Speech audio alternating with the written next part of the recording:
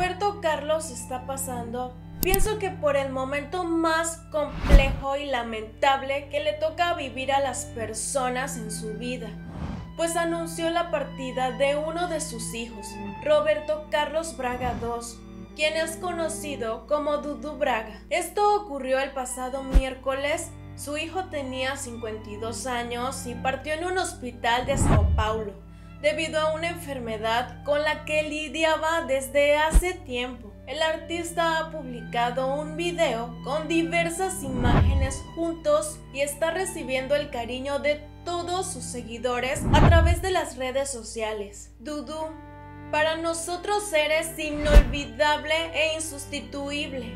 Nos vemos pronto, escribió Roberto Carlos en su cuenta de Instagram. El texto acompaña un conjunto de fotografías a modo de video en lo que ambos aparecen en diversos momentos de su vida.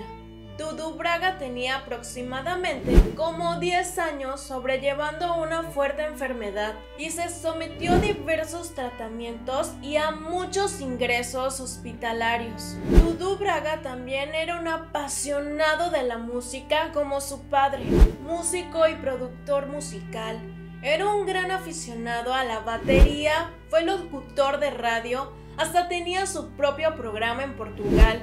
Era padre de tres hijos, Giovanna, Gian Pietro y Lauriña. Y pues Roberto Carlos vuelve a pasar por un momento similar al que vivió en el año 2011, cuando su hijastra Ana Paula perdió la vida. El artista está recibiendo el apoyo de sus otros dos hijos, Rafael Carlos y Luciana Carlos, así como de amigos cercanos que le están manifestando su cariño en estos momentos tan difíciles. Uno de ellos es el futbolista Pelé, quien le ha mandado un emotivo mensaje a través de las redes sociales. Hoy quiero mandar todo mi cariño, amor y oraciones a mi gran amigo Roberto Carlos. Deseo que Dios reconforte su corazón y que esté rodeado de cariño y luz. Así expresó. Muchos padres dicen al perder a sus hijos que esto no debería ser, pues lo más lógico es que los padres se vayan primero antes que los hijos, pero no somos dueños de las cosas que ocurren a nuestro alrededor y todo pasa por algo. Sé que para un padre perder un hijo es algo muy difícil de sobrellevar.